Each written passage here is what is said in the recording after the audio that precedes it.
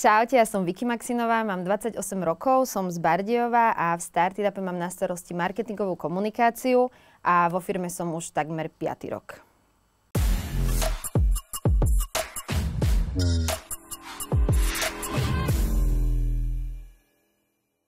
V Startupe som začala ako výpomoc alebo backup na social, kde som mala akož vypomáhať v rámci nejakých social vecí a postupne sa k tomu začali pridávať nejaké ďalšie agendy, a začala sa k tomu pridávať marketingová komunikácia, začali sme časom budovať tým ľudí. Aktuálne je to tým ľudí, ktorý rieši social, ktorý rieši marketing a takto nejako akože som sa dostala až na nejakú, nejakú pozíciu, kde som teraz a kde vediem tým týchto ľudí. V rámci svojej marketingovej agendy uh, mám na starosti viacero vecí. Uh, spada do toho napríklad social, kde vlastne riadime týmy, uh, čo sa týka Instagramu, LinkedInu, TikToku a šťastie aj Facebooku. Pre každú sociálnu sieť vlastne nastavujeme vlastnú stratégiu, na základe ktorej komunikujeme aj marketingovo ako brand.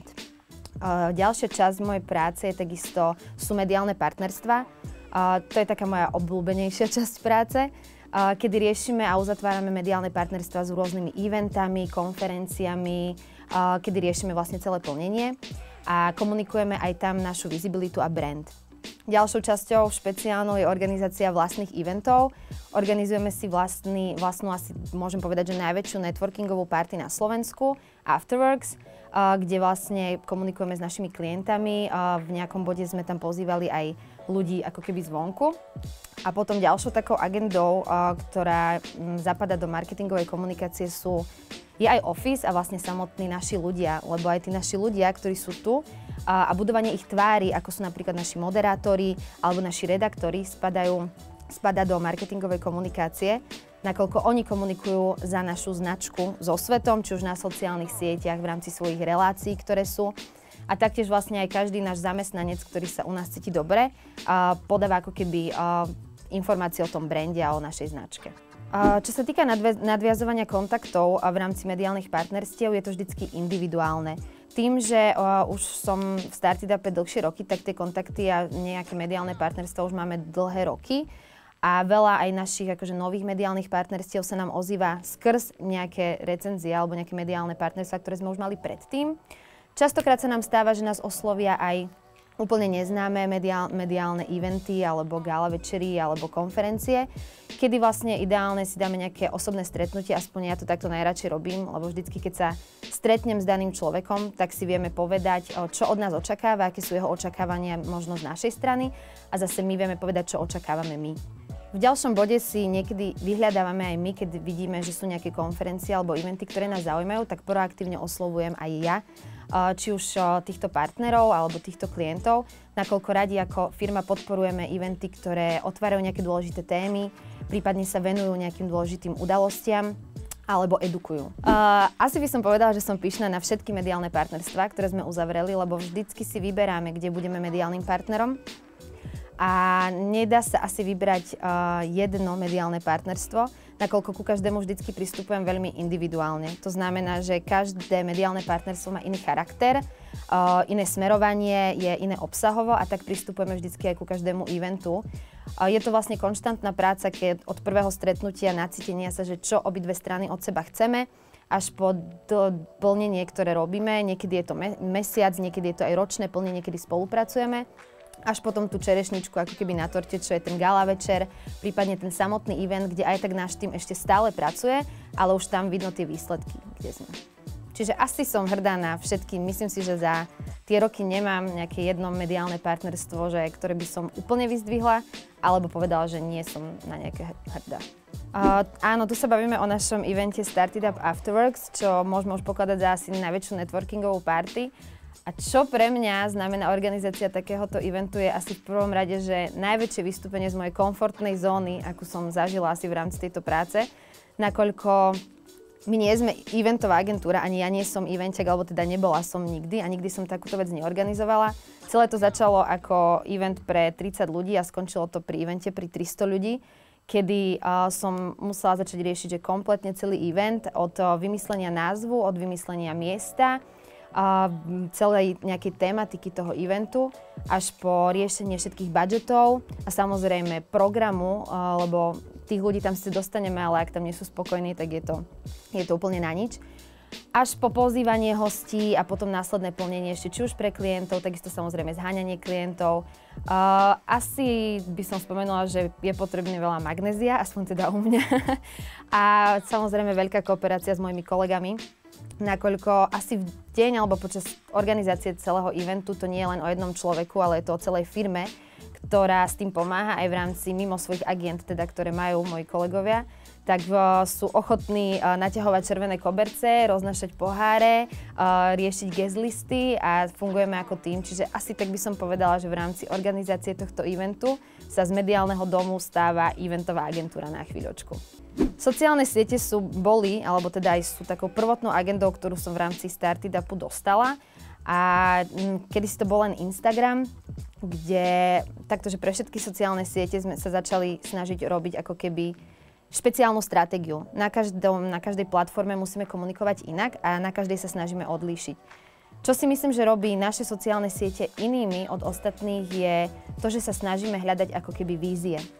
Snažíme sa hľadať to, čo iní nerobia, začať to robiť a robiť to najlepšie na tom trhu. Takto to bolo podľa mňa aj počas korony, však za posledné roky sa nám stalo veľmi veľa udalosti v rámci sveta. Bola to korona, kedy sme ako keby z Instagramu spravili, dá sa povedať, nejakú minútu po minúte informácií, kedy sme podávali relevantné informácie našim čitateľom alebo followerom. A keď sa aj v, teraz opýtame ľudí, že odkiaľ nás najviac poznajú, tak väčšina, väčšina ľudí povie, že z Instagramu. Toto isté sa stalo v rámci vojny, začali sme robiť to, čo iní nerobia a začali sme mať služby na sociálnych sieťach. Mali sme nočné služby, kedy ľudia, naši ľudia sledovali veci, kontrolovali a overovali. Čiže asi to by som povedala, že snažíme sa robiť veci inak, ako je aj naše heslo, že robíme to inak a snažíme sa to robiť najlepšie. A na každú samozrejme sociálnu sieť prispôsobujeme stratégiu. Ak komunikujeme na Instagrame, komunikujeme inak ako keď komunikujeme na LinkedIne, ktorý má úplne inú cieľovku. Uh, Startita pôsobí na LinkedIne nejaký, môžeme povedať, že nejaké dva roky, takže aktívne možno ani dva roky.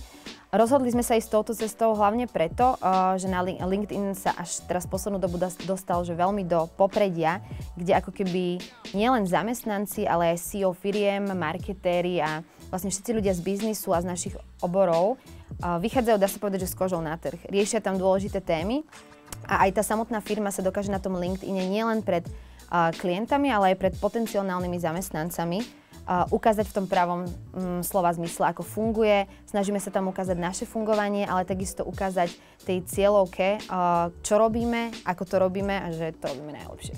No keby som mala povedať, že čo ma asi najviac baví na tejto práci, je to, že nie je stereotypná. To znamená, že každý deň prídem do roboty a vôbec neviem, čo ma čaká v rámci dohodnutých stretiek, samozrejme, ktoré mám a nejaké klasické agendy to, ktorú robím, ale fakt, že či už sú to natáčania, či už sú to nové stretnutia, klienti, problémy, ktoré musíme riešiť každý deň, dojde nám káva, aj to musíme riešiť každý deň. Ale čo ma asi najviac baví a prečo sem rada chodievam, je samozrejme aj kolektív, lebo čo si myslím, že má Startup, to, čo iné firmy podľa mňa nemajú, a to môžem úprimne povedať, sú ľudia, ktorí tu sú. Poprvé sú extrémne že šikovní a po druhé ten kolektív sa tu ťaha navzájom a vieme sa aj zabaviť, vieme ísť aj posedieť a vieme si odmakať robotu aj mimo pracovnej doby a to je asi to, že čo, čo tu všetkých ľudí takže najviac drží tá, ten environment alebo tá atmosféra, ktorá tu je. Môj bežný deň, keď dojdem do roboty, vyzerá asi tak, že mám do 12. vypýtať 4 kávy, a 3 magnézia. Ale nie, asi taký bežný deň je, že si prechádzam mailovú agendu, lebo tých mailov denne býva, že strašne veľa. Sú to mediálne partnerstvá, sú to naši klienti, prechádzam social s každým tímom. A raz do týždňa máme veľkú poradu vlastne head of všetkých oddelení, ktorú riešime. A potom mávame s každým portálom, lebo akože okrem Startupu neriešim len náš portál, ale riešime aj ostatné v rámci Startup Group, čiže mávame porady aj s nimi. Riešime premium, a vlastne všetky ofisové veci, ktoré sú potrebné. Akože keby som mala vyzdvihnúť nejaké momenty, ktoré, kedy sa mi zastavil tep alebo niečo v rámci organizácie Afterworks ako eventu, tak sú to také tie momenty, kedy už sme tam, za pol hodiny majú prichádzať hostia, ideme natiahnuť červený koberec, ktorý došiel a zistíme, že nám došla sieťka a nie červený koberec, čiže niekto vtedy ide, sa do auta, volá, aby nám niekto nastrihal červený koberec, lebo červený koberec a fakle musia byť na každom evente čo je dôležité. Čiže asi toto, alebo keď riešime kapelu, ktorá začína nosiť veci pol hodiny predtým, ako ľudia už majú prísť a keď sa opýtam, že stíhame to do pol hodiny, tak mi povedia, že no veď čoko, musíme, že áno, musíme, že za pol hodiny sú tu ľudia.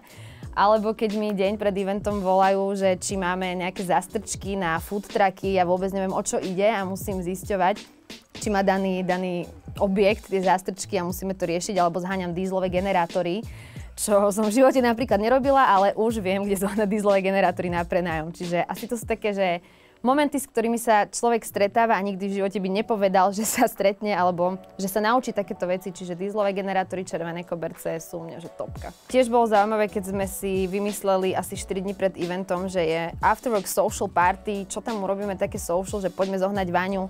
A začala som vlastne googliť, kde sa dá prenajať Váňa a došla som až na bazoš, kde predávali inak vane za 120 eur aj so záchodom, ale podľa mňa tak chytíš akurát syfilis, nič iné, nie fotky na Instagram.